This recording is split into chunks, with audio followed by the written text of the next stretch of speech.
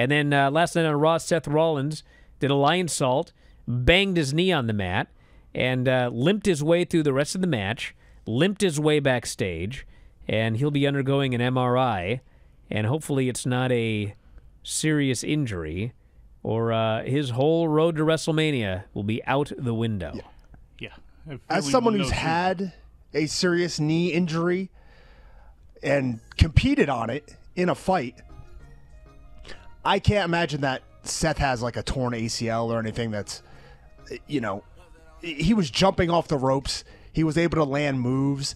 I don't know if Well, he'd hold that thought. We got the music here. Hold that thought. Back in a moment. Observer Live. So, uh, what's the uh, story here you were talking about, Tom? well, I don't have a prognosis or a diagnosis necessarily for Seth Rollins. I don't know what happened, but based on what I saw, it didn't look like it was a twisting injury of sorts, which is where you would probably cause the most damage to ligaments. It looks like if he anything, he slammed his knee on the mat, maybe some damage to the patella, hopefully something along those lines. If it was you know, a bunch of torn ligaments, I I don't know if he'd be able to finish the match like he did. He was still able to lift up Jinder. He was able to slam him around. He was able to take bumps. He was able to leap off the top rope. So hopefully, Well, it's I will too say bad. I will say one thing. Yes, he did do all the lifting and everything like that. But if you watch the uh, the frog splash he did, he didn't even touch the bad leg. Like he he landed sideways to not hit his other knee.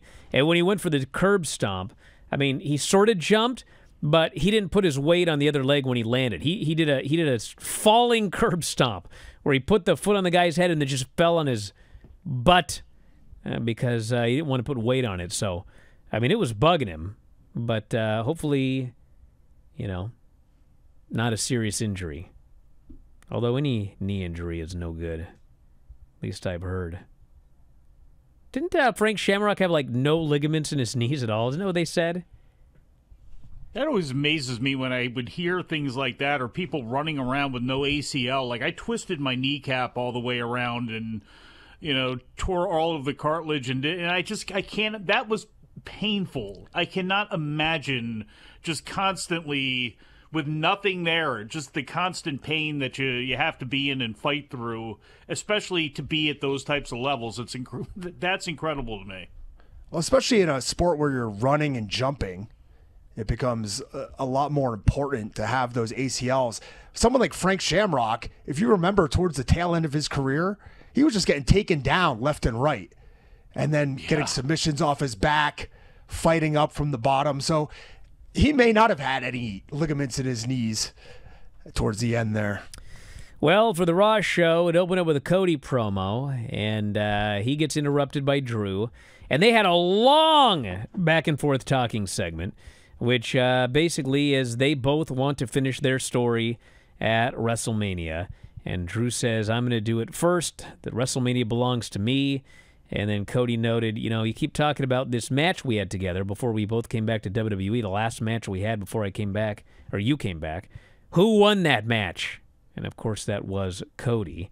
And then later they announced in the show, Cody is going to have a face to face with CM Punk next week.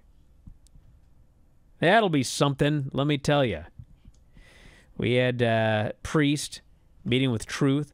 Truth has been selling bootleg shirts. And apparently, everybody that buys these shirts, they pay in cash with crisp $100 bills.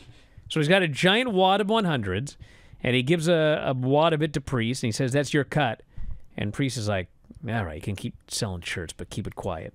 And tonight, in this tag match, don't even tag in because it was going to be Miz and uh, Truth against JD and Dirty Dom, which was next, and uh, ends up with Truth actually starting the match, so he didn't tag in, and they're going back and forth, and he feels bad that he's beating these guys up, but they don't feel bad about beating him up.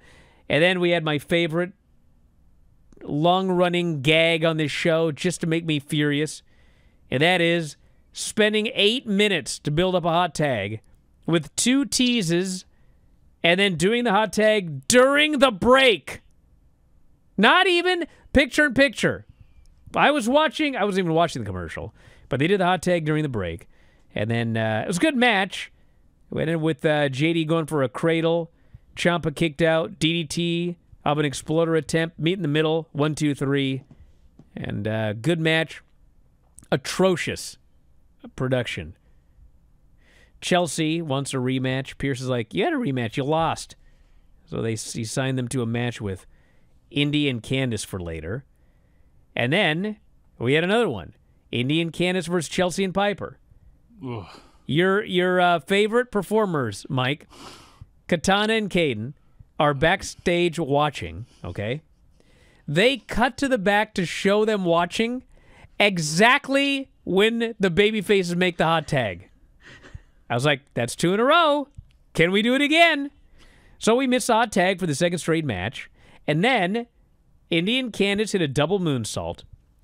Indi covers, but she's not legal. The referee starts to count one. Candice shoves Indi out of the way, so she's the proper person covering. Two, the ref's still counting. Three. now, they had done a storyline that the ref was incompetent, but the key to this, guys, is the ref actually wasn't incompetent last week. Chelsea's complaint was that he counted too slow, which he didn't. So I don't think this was storyline. I think this was incompetence. Yeah. So uh, If this is storyline, this is one of the smartest ways to do this that I've ever seen. Kevin Dunn gets ousted. Everybody celebrates. And then we get this Raw with like one God. faux pas after another. And we are one step closer to Kayden and Katana against Candice and Indi Hartwell. That does sound horrible. God but bless. we'll see. We'll see.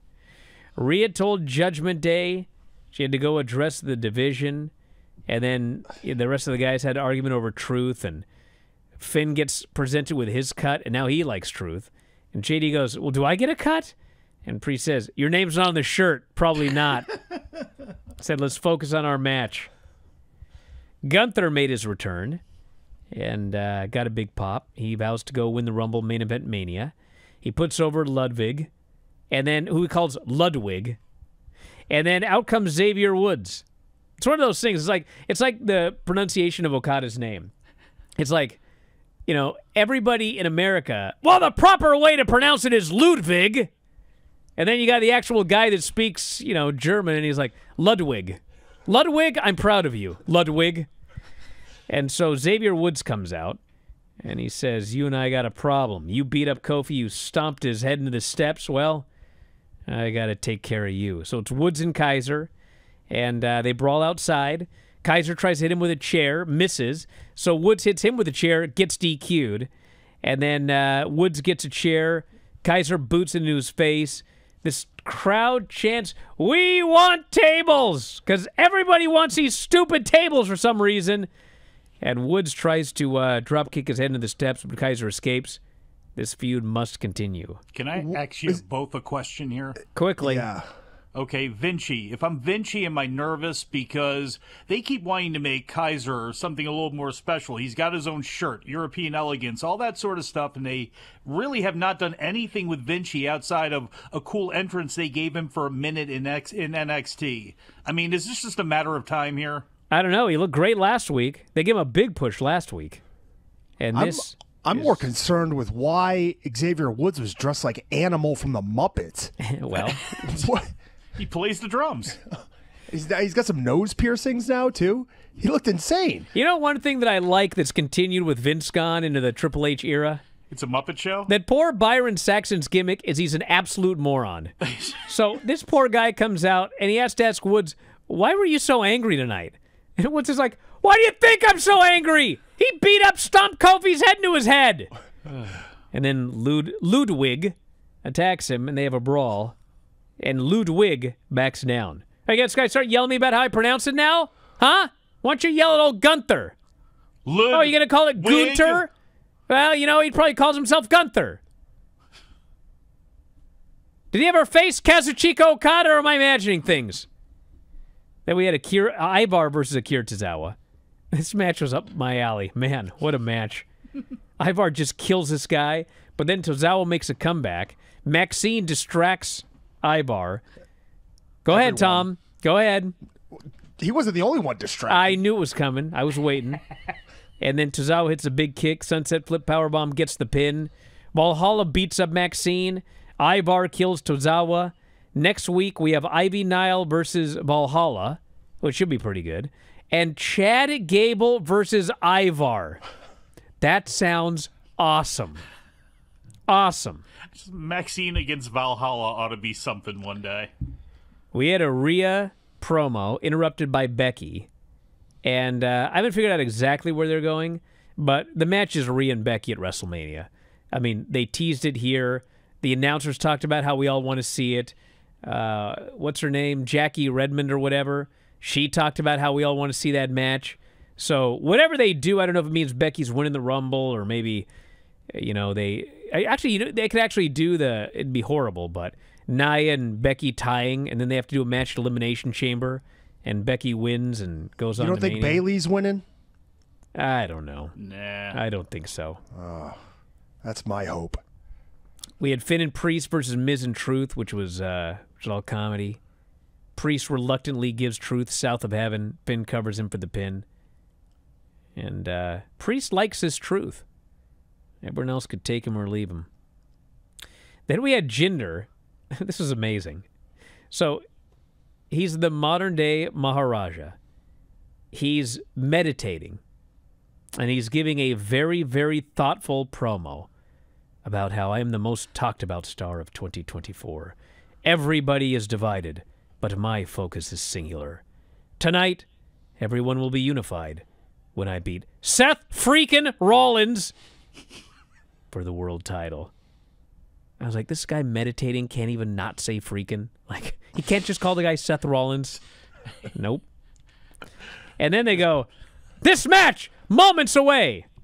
Well, moments away was a Shayna Zoey entrance, a commercial break, a Shinsuke Nakamura promo talking about the Rumble, a Nattie Tegan entrance, a Nattie and Tegan versus Zoey and Shayna match, which uh, Shayna won by putting Nattie in the Bulldog choke for the submission.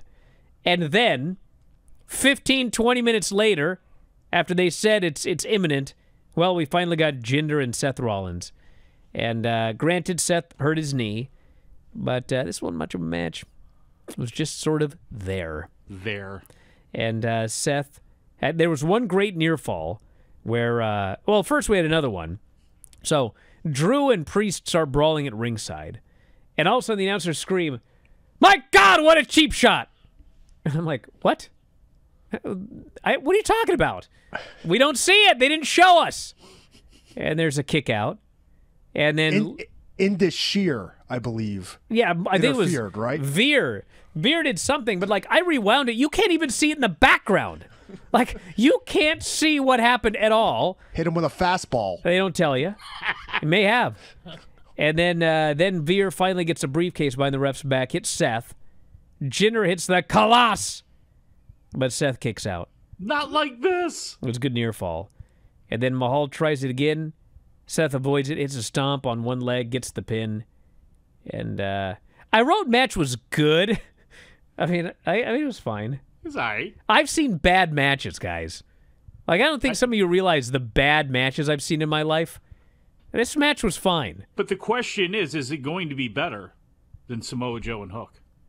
No, Samoa Joe and Hook's gonna be good. I just have this feeling it's gonna be good, and that is coming up tomorrow or on uh, on whatever day that is, Wednesday, which is tomorrow. Yeah. Thank you for watching. Make sure you subscribe to the channel and click that notify button, and you'll never miss a video again.